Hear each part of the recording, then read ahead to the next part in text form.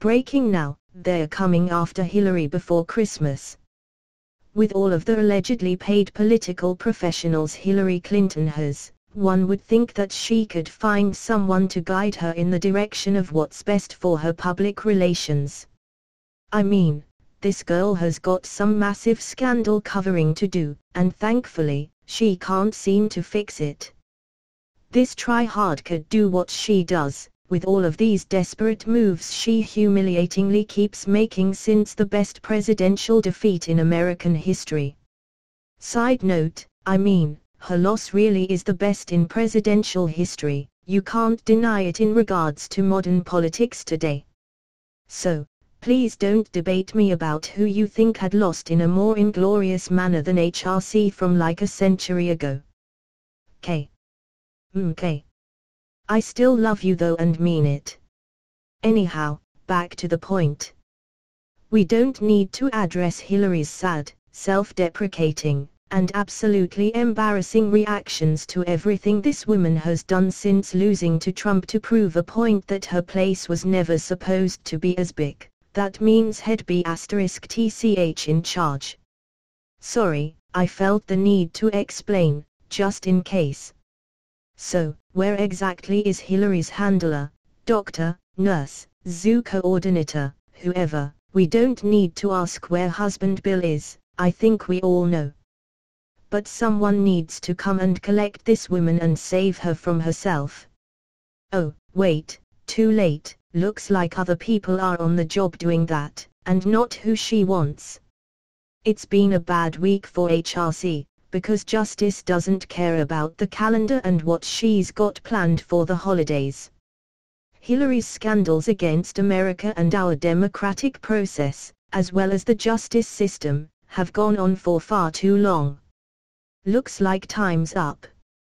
This is a great Merry Christmas move for all citizens of our great nation. Western journalism has the details on who's coming after Hillary and what she has to look forward to.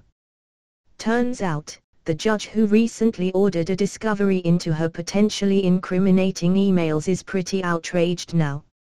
Hillary is getting a lot more than coal for Christmas. The 2016 election may be fading fast in the rearview mirror of history, but one of its biggest scandals is still haunting Hillary Clinton.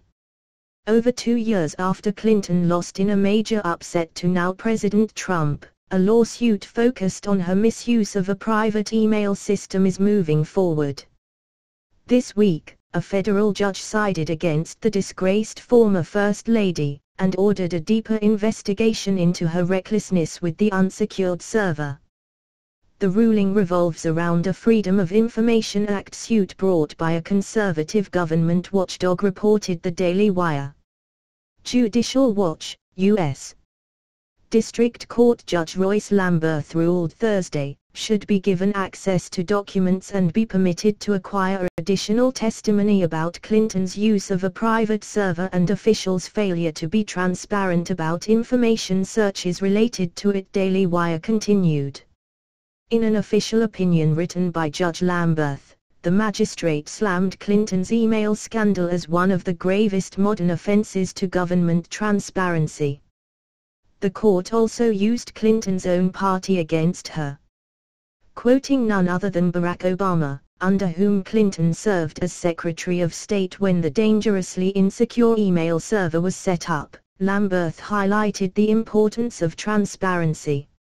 In our democracy, the Freedom of Information Act, FOIA, which encourages accountability through transparency, is the most prominent expression of a profound national commitment to ensuring an open government Obama declared early in his presidency. All agencies should adopt a presumption in favor of disclosure to renew their commitment to the principles embodied in FOIA, and to usher in a new era of open government. The presumption of disclosure should be applied to all decisions involving FOIA, the 44th President continued. Unfortunately, that pledge of government transparency seemed to be quickly forgotten within the Obama administration. Judge Lamberth pointed out that there's strong evidence that Clinton used her private server to hide her activities and avoid oversight. But in this case, faced with one of the gravest modern offenses to government transparency, his state and justice departments fell far short he declared. So far short that the court questions, even now, whether they are acting in good faith. Did Hillary Clinton use her private email as Secretary of State to thwart this lofty goal? Judge Lamberth continued, strongly implying that the answer was a resounding no. Was the State Department's attempt to settle this FOIA case in 2014 an effort to avoid searching and disclosing the existence of Clinton's missing emails?